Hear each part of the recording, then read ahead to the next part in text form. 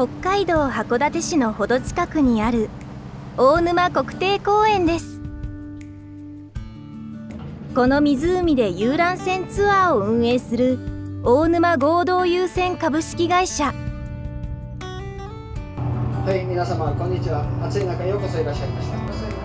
ここでガイドを務めるのは元海上自衛官の佐藤さんです。佐藤さんの上司であり代表を務める川村さんに自衛官の採用について伺いました。社長に就任して3年の川村です。幼少期より船が好きで父親が営む船屋に憧れ現在に至っております。佐藤とは船の運航に長けた方を探していたところ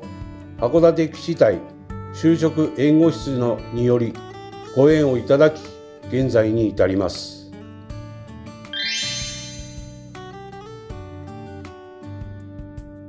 コミュニケーション能力に長けており会社内においてもすぐ溶け込めるのではないかと感心しております。船舶免許も所有しておりロープワーク抜群。煩雑な作業にも柔軟に対応しており近い将来船長として活躍していることを期待しております。さらなるホスピタリティの発信強化に努めてほしいと思っております。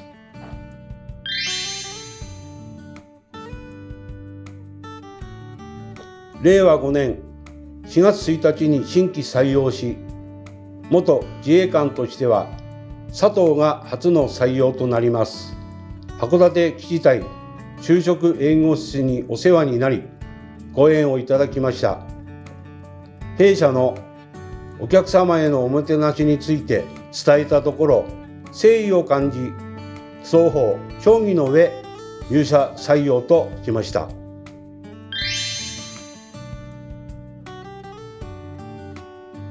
初めての海上自衛官の採用でしたが礼儀正しく規律を重んじ愚直でありながら自らの経験を生かしたコミュニケーション能力臨機応変な対応力に非常に長けていると感じました。職場としては接客がメインでありお客様に喜んでもらえるサービス提供を第一に考えております。自衛官の方々におかれましては日々の多様な訓練や経験から得られた能力が備わっているため企業の望む多種多様な業務においても十分なご活躍が期待できると感じております。